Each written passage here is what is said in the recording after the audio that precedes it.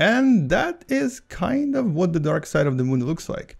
Hello wonderful person, this is Anton and today we're going to be talking about the recent announcement from China about the mission to the dark side of the moon and we're also going to discuss other missions that are currently active on the moon and are, are planned by other countries. And all of this is of course because there is now a new kind of a renewal of interest in uh, various lunar missions. Various countries are planning missions in the next 10 years or so, and we're hopefully going to be actually creating some kind of a colony or a base or a permanent settlement right here on the surface of this beautiful object. So let's talk about this and welcome to What Da Math.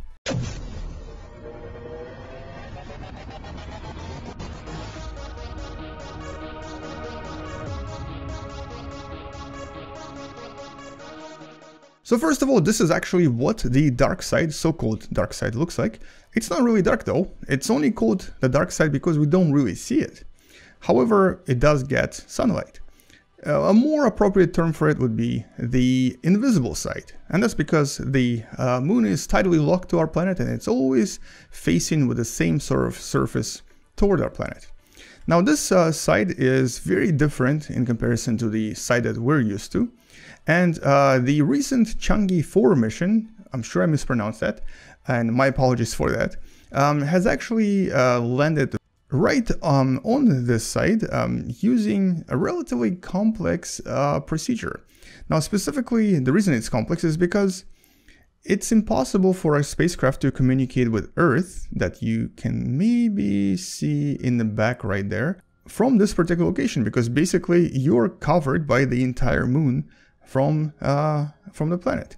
And so for uh, us to communicate with Earth, we need to actually have some kind of an object in orbit around the moon to relay the messages. And this is exactly what China did.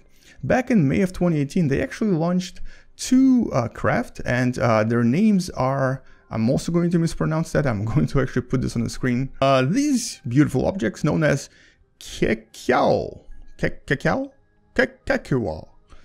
I don't really know how to pronounce it, but the idea here is pretty simple. You have two uh, satellites that relay messages between the lander, that's on the opposite, on the dark side of the moon, and the Earth. The relay satellite um, actually is located in the so-called Lagrange point, L2 point specifically, um, that is slightly farther away from, from the moon, and as it orbits here, it actually gets the view of Earth at all times.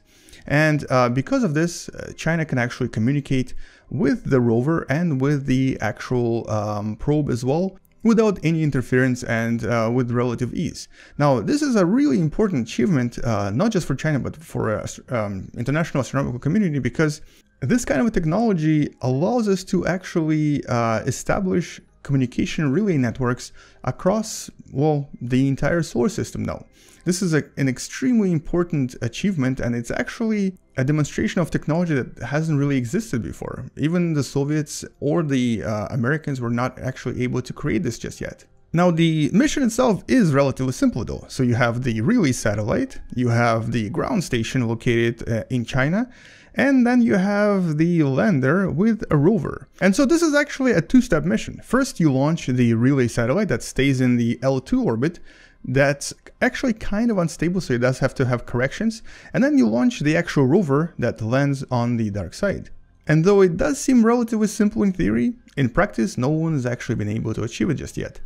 Now the landing spot itself was chosen um, kind of arbitrary actually. It's inside the von Karman crater that's inside of a much larger SPA basin that um, is, well, actually a result of an extremely large collision, probably the largest ever. And one of the reasons this location was chosen was to actually study the um, lunar rocks, see if there's any difference between the dark side of the moon and the uh, side that we've studied already. And most importantly, it's actually meant to um, also study the possibility of using dark side of the moon as a kind of a radio telescope. And the theory of putting uh, radio telescopes on the dark side of the moon has actually been around for a long time, but we've never really done it until now.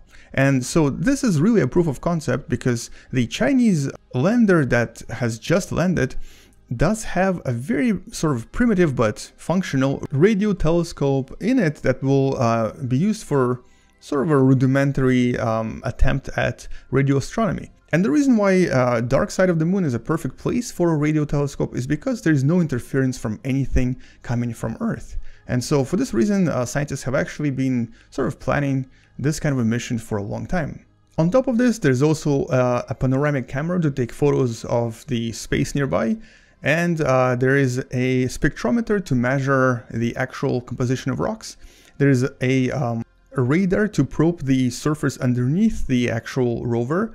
There's also an instrument that will study the interaction of solar winds with the moon and uh, there are even a few biological experiments, including the uh, silkworm larva and potato seeds that uh, will be used to study the survival rates of those organisms on the moon and their interaction with the lunar environment. So overall, this is actually a very uh, complex scientific mission and will hopefully bring quite a lot of scientific uh, discoveries in the next few years.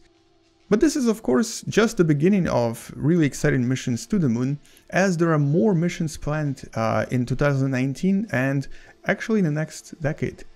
So here's actually a website uh, that you can find in the link in the description below by um, Ian Webster. He's actually a pretty famous creator of various um, astronomical simulations. And uh, he created this uh, moon simulation that has all of the missions, uh, I believe as of 2015 maybe, uh, from various countries. You can see the locations of various uh, probes that were landed. So for example, here's Lunar Orbiter 3, here's Luna 9 from Russia, and a few other probes here. And you can also see the uh, various orbiters that are still orbiting the moon. Uh, you can also sort this by countries. So for example, here is all of the American uh, missions and satellites. Here are all the Russians. Then we have uh, EU. There's only one that's showing. Uh, we also have China, and unfortunately this is um, Chang'e 1, I believe, or possibly Chang'e 2. Uh, the recent missions have not been added to this yet. We have one for Japan and then we have uh, one for India. But what this really shows you is how much we've already actually studied the moon and how many successful landings there were on the surface. You can actually see them as these yellow or orangey dots uh, scattered all over the place. But unfortunately, the recent missions haven't really been added, even though there are currently four active missions here. So we have Chang'e 4 that just landed. We also have the previous Chang'e 3E, uh, which is also known as the Jade Rabbit or the Yutu rover. Now, um, you may have actually heard about the landing, but uh, most people don't really know about what happened after because China did try to keep it sort of hush-hush. But in short, after a few minutes on the surface of the moon, uh, the Yutu rover had a major failure of propulsion, and so it kind of just froze in space. But it's still functioning. After four years, it's literally just sitting there and, well, slowly collecting data, but not a very useful amount of data. Basically, its ultraviolet telescope is still fully functional and it is still sending in some data to the scientists, uh, but because it can't move and it can't really do anything else, for the most part it's kind of useless.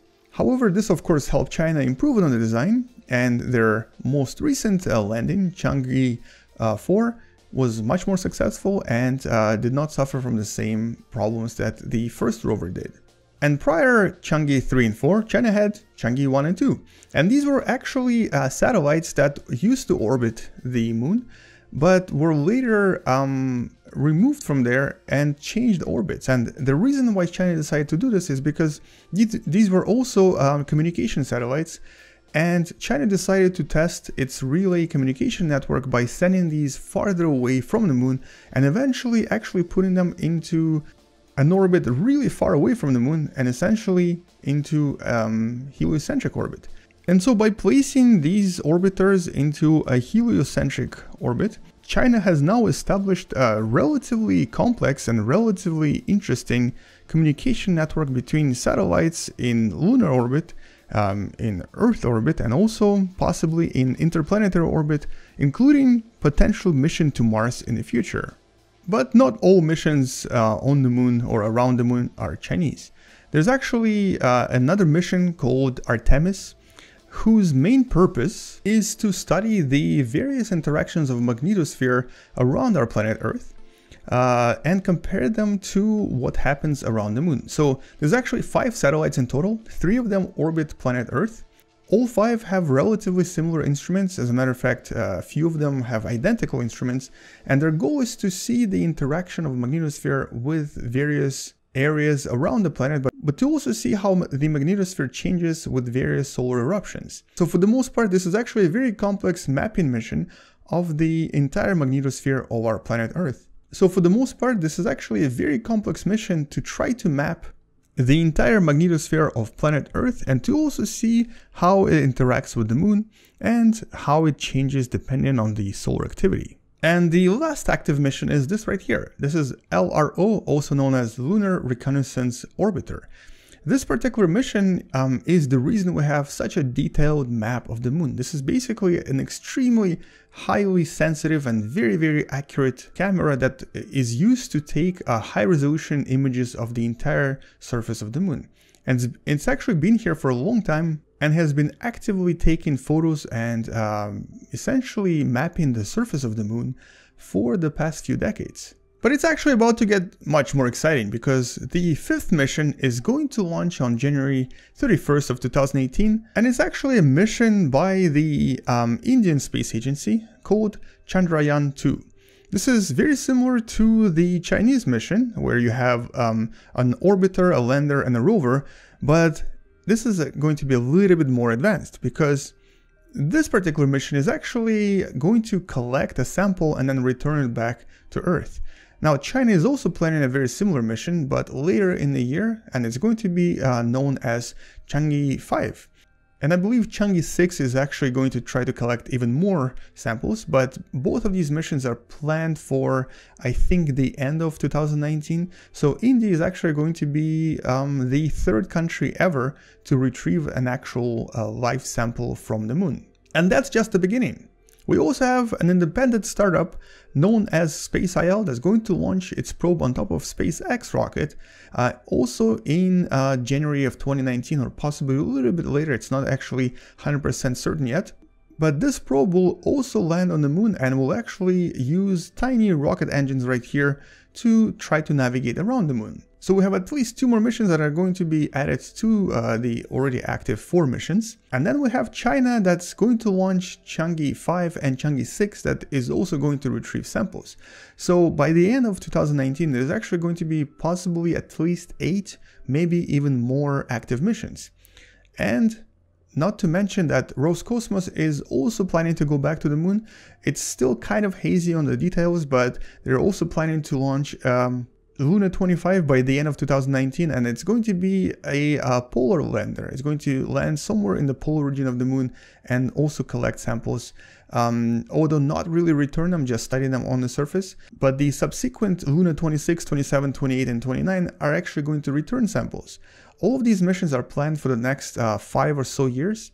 So we're not really sure on the details, but they're definitely in the planning. So what we know so far is that uh, there's definitely a new sort of uh, revigorated interest in the exploration and hopefully settlement of the moon.